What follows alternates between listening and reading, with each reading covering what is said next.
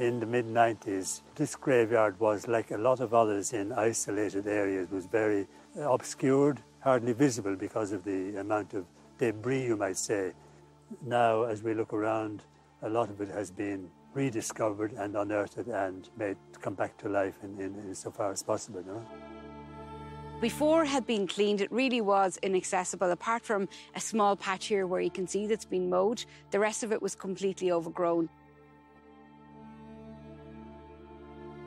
Hello and welcome to Stories from a Living Graveyard, a podcast series created by myself, Fin Dwyer, and Damian Shiels, the host of the Forgotten Irish podcast.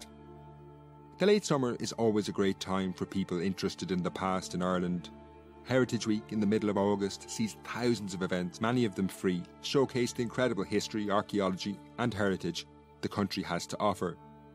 This year, things are slightly more subdued as we grapple with COVID 19 but whether you live in Cork or California, this podcast series, Preban, A Living Graveyard, is going to bring you well off the beaten track into the foothills of the Wicklow Mountains to one of the most incredible graveyards you'll find in Ireland. Neglected in the early 20th century, Preban Cemetery fell into a state of disrepair until 2010 when the Preban Graveyard Committee began what was years of work to restore this remarkable place. Through their work, they uncovered a history that stretches back thousands of years from Neolithic rock art through to incredible stories of rebels in the 1790s. This podcast was produced in association with the Preban Graveyard Committee and the Heritage Office of Wicklow County Council. We would like to gratefully thank the Heritage Council and Wicklow County Council for funding this series and the ongoing work to reveal the hidden heritage of Preban Graveyard. Sound was by Jason Looney. Finally, a bit of information on ourselves. My name is Fin Dwyer, and I'm a historian, former archaeologist, and the creator of the Irish History Podcast. Damian is a historian and archaeologist. We actually first met working on a dig over 15 years ago. Damian has a long career in archaeology and heritage from the National Museum to years of field excavations. He has a particular interest in battlefield archaeology he also makes a podcast called The Forgotten Irish, which focuses on Irish American experiences, with a particular focus on the US Civil War. And now to Preban. Set in the southern foothills of the Wicklow Mountains, our trip in the height of summer in mid July promised perfect weather. What we got was a classic Irish summer's day, as Damian bluntly put it. Traditional Irish summer weather, Finn. It's a great day. Rain coming in sideways as we look in July at one of these nice medieval graveyards. Now, this weather left me worried about the fact that I didn't have proper boots, but ever the optimist, Damian pointed out some positives. Uh, and actually, this type of weather can be pretty good for looking around graveyards, and particularly if you're interested in reading the inscriptions and things, because a bit of damp weather can really bring out some of the more difficult to read um, names and dates on these headstones.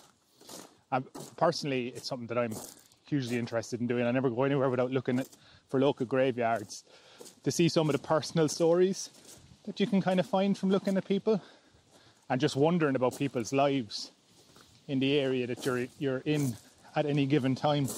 Now, to give you a better sense of where Preban is in Ireland, Damian describes the wider landscape. We're in South Wicklow, near the Wexford border. Come up a very nice little gravel laneway into a small secluded little graveyard, but kind of a classic old Irish graveyard, higgledy piggledy headstones. One of the things that's really striking um, is its setting in the landscape, even with the rain clouds and the mist coming in off the hills. Um, we're surrounded by some of the, the high ground that you would expect to find in this part of the country. As we walked around the graveyard, we were mesmerised by the incredible stories surrounding us. I mean, look at these ones here now. Really small, simple stone markers about a foot tall. They're not even um, worked in any significant way, but we're looking straight back into the 18th century. So there's one just over here with a cross, the initials TB and 1784 written on it. So immediately we're jumping back 250 years. Immediately thinking what level of society that person is. They weren't well enough to do that they could get a full headstone but somebody wanted to mark their name, however simply. Um, really unusual stuff. So, all the way through, right to the modern headstones, people who've been buried here in recent years. So it just shows you, and we know the site goes back to early medieval and even prehistoric times. Um, so, like, just generations of stories of these personal stories that are inscribed on each of these headstones. Intrigued by these glimpses into the past lives of people in this community, a local resident, Yvonne Whitty, arrived up at the site. This podcast series was Yvonne's brainchild. An archaeologist by profession, Yvonne has spent the last decade devoting countless hours to uncovering the stories of the people buried in this graveyard. She explained more about what the graveyard looked like before the community began working on it. About 10 years ago or more, the site was completely overgrown and inaccessible. There was laurels co- covering the centre and I just there was less than one person buried here per, per year from the 1970s, so it f- had fallen into complete I suppose, disuse. So um, a local group got together t- with the aim of cleaning up the graveyard. And then I'm from, I would have played here as a child. We're just from down the road and we, I would have grown up here. So the group, we got together and we, um, we they came in, they cut back the vegetation. I came on board then, knowing the historical importance of the site, and they the group got together and cleaned back the laurels. While we will examine these in much more detail, we asked Yvonne to explain some of the stories the community have unearthed. What we found was that we had a treasure trove of 17th century headstones. We have three pieces of Neolithic rock art here. We have the ruins of a stone church up in the northwest corner. And as you walk around the graveyard, you'll be able to see fragments, even from architectural fragments from the church. And then we also have bullaun stones, which were grinding stones. I'm not sure what people use them for. They might have been used for grinding herbs or for metalwork. And they're often found at early medieval church sites. And we also found two little stone crosses. So what we really have is an open air art gallery and a museum. So in the graveyard, there's definitely there's uh, every story, I suppose, has its own tragic element to it, but there's definitely a couple of graves that really do stand out. So the first one will be the Mulhall family, where there was a family of six killed in a snowstorm in the 1800s, the late 1800s. And actually, during the cleanup of the grave, we think that we have found a plot where they may be buried because they were an unmarked grave. But um, when we cleaned up, there's six headstones all tightly packed together in the one cut. Is it the grave? We don't know, but it's it's potentially maybe their final resting place. Next, Yvonne talked about something that holds a special pride of place in this community the stories of the local people killed in the 1798 rebellion, who will have an episode of their own later in the series. But here, Yvonne gives us a sense of what's to come. Then another grave, I suppose, that deserves um, special mention would be the Lacey brothers. After the Battle of Vinegar Hill, they were making their way back home and they took refuge under a bridge in Ballinglen because the yeomanry would have been patrolling the area. And the story is, is that they met a neighbour um, and he told of their location, and all six people were taken out from under the bridge and shot, executed on the spot. Indeed, the work at the graveyard brought to light a man totally forgotten from this chapter in the community's history. And originally there was six young men killed under a bridge in Ballinglen. And we always knew, it was always well known that the Lacey brothers were buried here. So there's a grave that commemorates them in the graveyard. But we also found then, during the cleanup, we found a James Byrne.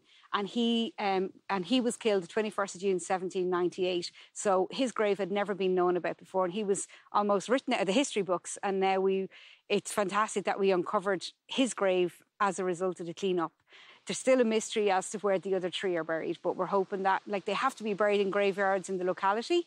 And if these guys were commemorated, there's a good chance that their grave is somewhere, maybe Whitefield, maybe Tinahely, you know, around the area. Uncovering these stories has been a mammoth task. Today, the graveyard is a tranquil and well tended place. Gravel paths make the site accessible. However, this is only after years of hard work by several members of the community from all walks of life. Jack Lynch, who was centrally involved in the project, moved to Preban 20 years ago after a career in the post office in Dublin. Damian interviewed Jack about his involvement, motivated by a personal quest to find a grave dear to his family.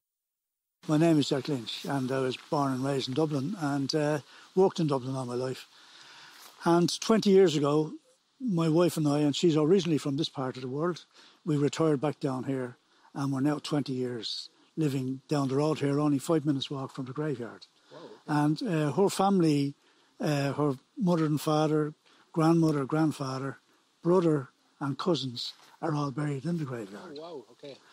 So, like, there was the her her grandmother was actually died in 1905, and uh, Her father always said that she was buried somewhere over there. There was a huge big laurel tree in the middle of the graveyard, and obviously she didn't have a headstone.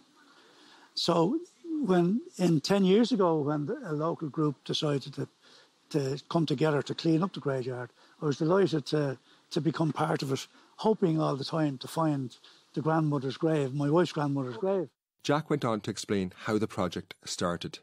So it was just a small group, uh, and we got together, and Joe Kelly and Pat Kennedy and myself and Eddie Whitty just cut out all the weeds and the overgrowth and all the rest of it. And it made a great clearance in the graveyard. And, and when it was cleared, we just discovered a treasure of 17th century, 18th century, 1740, 1750, and 1760 headstones here in the middle of the graveyard that no one had seen, I'd say, for more than 50 years and maybe not for 100 years. After this had been completed, the community commissioned a geophysical survey to get a better sense of the archaeology of the site. Yvonne explains what this is. So, geophysical survey is kind of like an x ray of the ground, and what it does is it picks up magnetic responses and then from that then um, uh, like it's like an x-ray of the ground. Archaeological features can be um, are detected and we can see what lies beneath the ground without actually having to do any excavation or testing. So it gives a good sense of what's there without the need to excavate. Now this survey wasn't just a stab in the dark. Yvonne and the committee suspected that there was much more than what was visible to the eye in Preban.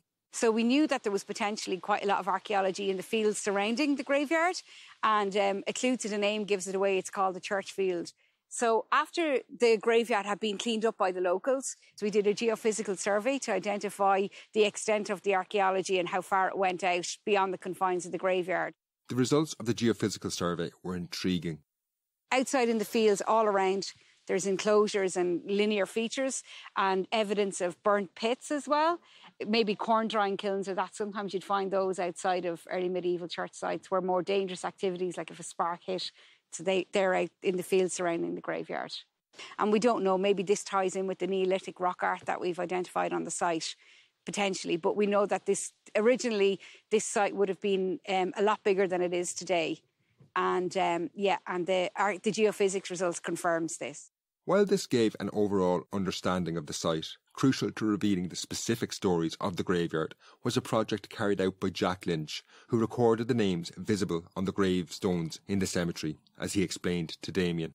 So right behind the Lacey grave, there's a 1747 Roger Roger McManus grave, and it, it's only a slate headstone, and the reading is as clear as day since 1747. And I just fell in love with it and said, I'm going to start recording the headstones. Uh, and you just started off from there? I started from there. And I, I was coming up every day and every morning and every evening to try and get the light on them because, in fairness, they're all, except for the modern headstones, they're all facing east. The modern headstones, they don't care. Yeah. They're facing west yeah. and north. But all the old headstones are facing east. And uh, I got myself a little notebook and I I, I, I made several visits to an awful lot of the graves, and uh, and some of them I really fell in love with. Some of them, do you know what I mean? Yeah. And uh, when we were finished, and we only finished last week because I had to I had to compare my notes with uh, with Cantwell's notes. Cantwell did the graves in about 1950. Okay. And he did several graveyards, but he was only doing them up to 1800. And when I compared my notes with Cantwell's, uh, we disagreed on a few. So I had to come back and recheck. So it was about half and half who was right and who was wrong. Right. You right. know. But uh, and c- can I just add? Did you did you find your your wife's grandmother's grave no, No, okay. I, like right. clearly she didn't have a headstone. Right. She may have had a stone. Right. Over a grave, but she didn't. Now, in recent years, we named her on this one here, okay, just brilliant. to just to give her a mention, Catherine Devereux Nee Sherlock. It's a lovely tribute to her, though. Yeah. Anyway, that looking for her grave oh, it was brilliant. yeah, It was brilliant, yeah. Amazing, yeah. yeah, yeah, yeah. The results of this are an impressive catalogue of generations of people who lived in this community. But uh, we ended up uh, reading the headstones of, of 150, uh, 150 headstones, and we have 327 names. Now, seven of them don't have a Christian name, right. they just have a surname. So, of the 320 names we have, uh, over 200 are men and only 118 are women. The 100, 202 men and 118 women. Okay. So- they were more likely to get their names. So the women obviously buried the men first. Yeah. And nobody bothered to put their name on the headstone yeah, when they yeah. were going into it. You know, the, Yeah. the ladies were more uh, worried more about getting the name on the headstone than anybody worried about getting their names on the headstone, or so it appears. Among these was an incredible grave, which gives an insight into what must have been a remarkable life. There's a Burthistle grave over there. We can't get the, sur- the Christian name. We have the surname Burthistle. And the only other thing we can read on it is aged 108 years. Wow. Now, Cantwell, in his reading of the grave in, 17, in 1950, thought that it was either 1701 or 1704. Now, we, we can't hang our hat on that. It's definitely 1700, but we, we but if it is 1704, the man was born in the 1590s. The man was alive when Elizabeth Or- I was on the throne. Correct. Man or woman. This graveyard has continued to reveal its secrets, sometimes just in the course of maintenance work, as Yvonne now talks about one of the rarest finds. So this um, this piece of rock art that we're looking at here was actually discovered by Joe Kelly when he was trimming the graveyard, and he just it's quite incredible that he found it because he like you know he was trimming, working away. He looked he looked at the stone and he knew that there was something different. So then Chris Corlett happened to be down in the graveyard that day, and he came over and we looked at it, and lo and behold, a beautiful pockmarked. Um, piece of rock art and it, again this has been reused as a headstone in Preban graveyard and this is about the so you're looking at between 4000 to 2004 2400 bc yeah and somebody has reused this probably in they, they've reused it probably in the 1700s on. We don't know exactly what date um, but the earliest i suppose the earliest stones that is 1738 so we can assume and there's one beside it there 1739 so we assume that somebody erected this headstone in and around 1700s mid 1700s While we were immediately drawn to some of the more ornate headstones, Yvonne was also keen to point out that there are traces everywhere of people less well off who couldn't afford to have their names inscribed in stone. In terms of the headstones here, in a way, you've got, I suppose, like a real example of you've got the people who could afford headstones, who could afford stone cutters of the time, and they have quite elaborately carved headstones. Then you've got people maybe who who they wanted to remember the dead. They've a simple X marked on the stone, and then they've got other people who the people who are poor in the times of the famine, and they just have simple grave marks where there's just a slate stone inserted into the ground. And we have 322 names recorded, but there's at least three times that amount in little grave markers that are left here, you know, in the unmarked graves. So, and you can see the amount of humps and bumps the whole way through the to the graveyard. Like this, this site has been people have been buried here for a long, long time, and you can, as you can see by the topography, all the little mounds and humps and hollows. In the coming episodes, we will hear some of the stories of people buried in Preban. In part two, which is out tomorrow, we will return to the earliest of these stories, from the Middle Ages and before. Until then, Sloan.